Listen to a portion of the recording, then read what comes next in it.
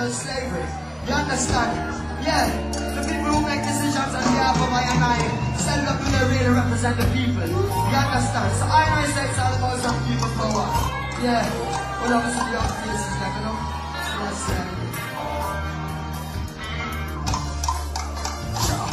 Hey, a revelation is revelation well reveal the truth now.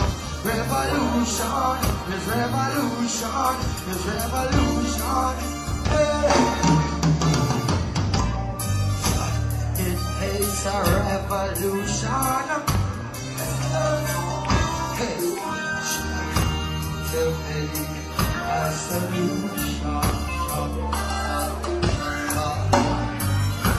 Well, too much is moving to